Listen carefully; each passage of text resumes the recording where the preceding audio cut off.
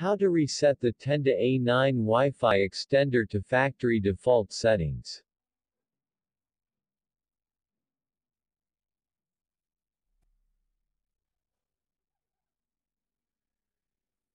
Reset button. It is used to restore the extender to factory default.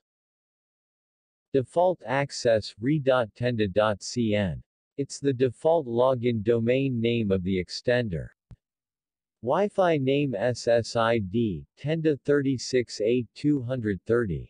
To reset Tenda A9. Method 1. If you forgot your password and can't access the Tenda A9, you may perform a router reset to restore factory defaults. First, plug the Tenda A9 into an electrical outlet. Second, Press and hold the factory reset button with a needle-shaped object and hold this button for about 10 seconds until the LED indicator turns to solid orange.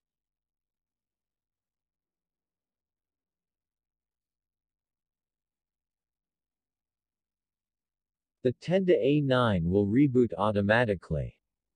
The Tenda A9 has been reset and is ready to use.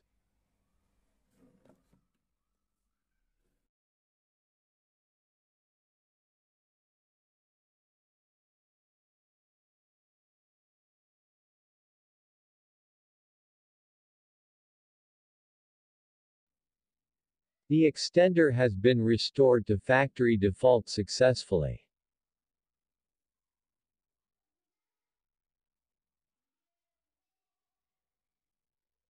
Method 2. Use your smartphone to reset Tenda A9. First, connect to the Wi-Fi of the Tenda A9. Second, open a browser on your smartphone, type the default login domain name re tenda cn into the address bar, and click Go. Third, enter your admin password. Then click on Login. Fourth, go to Administration. Fifth, click on Reset, then click on OK.